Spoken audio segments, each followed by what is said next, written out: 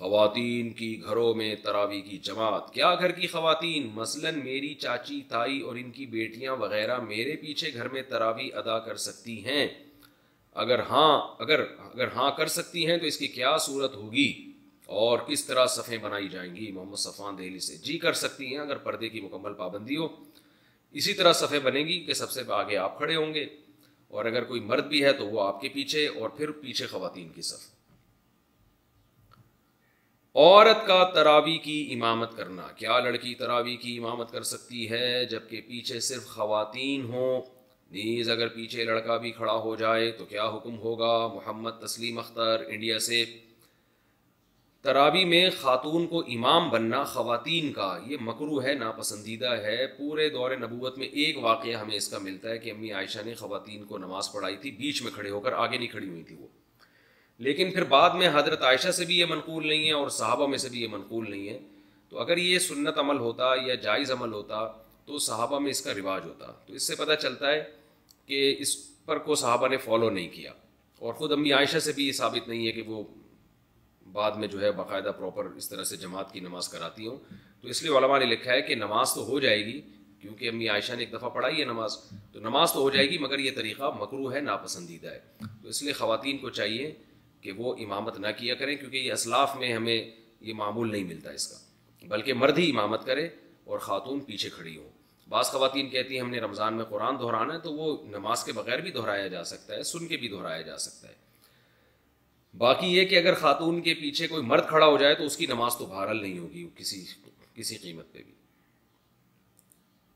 ज़क़़त किन चीज़ों पर फ़र्ज़ है? ज़क़़त किन किन चीज़ों पर होती है? क्या सिर्फ़ कैश पर होती है या गाड़ी वगैरह जो इस्तेमाल में हो, इस पर भी ज़क़़त होती है? रेहाना साहिबा कोयटा से। ज़क़़त चार चीज़ों पर होती है, इसको याद कर लें। कैश अमाउंट जो आपके पास है, उस पर बहरल आपने ज़क़़त देनी है, थोड़ा हो या ज़्यादा हो।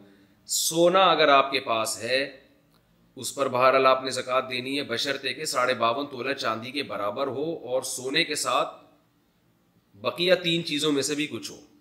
यानी खालिस अगर सोना आपके पास है, और पैसे बिल्कुल भी नहीं है, चांदी बिल्कुल भी नहीं है, तिजारती माल बिल्कुल भी नहीं है, सिर्फ़ सोना ही सोना है तो फिर साढ़े सात तोले सोने से कम पे जक़ात होती नहीं है, लेकिन आमतौर पर ऐसा होता नहीं है। जब भी किसी के पास सोना होता है तो कुछ ना कुछ कैश अमाउंट तो होता ही है। तो इसलिए फिर ऐसी सूरत में सोना नहीं देखा जाएगा, बल्कि ये देखा जाए सोना असल नहीं देखा जाएगा, बल्कि सोने की वैल्यू देखी जाएगी कि साढ़े बावन तोले चांदी के बराबर सोना है या नहीं, और वो आधा तोला सोना भी आजकल साढ़े बावन तोले चांदी के बराबर हो जाता है।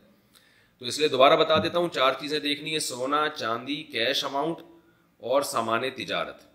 तिजारती सामान कहते हैं, वो सामान जो आपने बेचने के लिए खरीदा हो और अब तक बेचने की नीयत आपकी बाकी हो, यानी जिस दिन जक़ात निकालनी है ना, जो जक़ात के वाजिब होने की तारीख है आपकी, उस दिन भी आपकी बेचने ही की नीयत बरकरार हो, दरमियान में नीयत तब्दील न हुई हो। तो ऐसी चीज़ों को सामान तिजारत कहा जाता है। कोई प्लॉट आपने ख़रीदा बेचने के लिए, कोई मकान आपने ख़रीदा बेचने के लिए, जो दुकान में आपने सामान डाला होता है, सारा बेचने के लिए डाला होता है। लिहाजा जितने दुकान में असासे पड़े सब पे ज़क़़त वाजिब होती है। तो जो भी चीज़ बेचने के लिए ख़रीदी है, वो सामान तिजारत में दाखिल है। तो ये चार चीज़ें अगर आपके पास हैं और इनकी मालियत साढ़े बावन तोला चांदी के बराबर हो जाए, जो कि हो ही जाती है आमतौर पर आजकल तो फिर आप पर ज़क़़त, उनकी वाजिब है। इन तमाम चीज़ों को कैलकुलेट करके वैल्यू निकालें, चालीस पे डिवाइड करें, जो जवाब आए वो ज़क़़त है। फ़ौर दे दें, दो चार दिन बाद दे दें, फ़कीर का इंतज़ार करें तो कि जब कोई मुस्तक मिलेगा उस वक्त दे दें, लेकिन हिसाब उसी दिन का करना है आपने।